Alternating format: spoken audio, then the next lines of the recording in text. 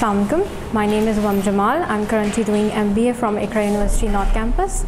Um, what I uh, learned from today's um, session is that it's very good firstly uh, to be um, giving uh, giving us opportunity from um, experienced people uh, to learn their experience to learn uh, their um, state of mind especially when it comes in the corporate world uh, now I understand what the uh, businessmen, say businesswomen, or the corporate world wanted to understand, want wants me to do, and um, I'm hopefully um, this uh, this will continue in future, so that I can learn more and more of it.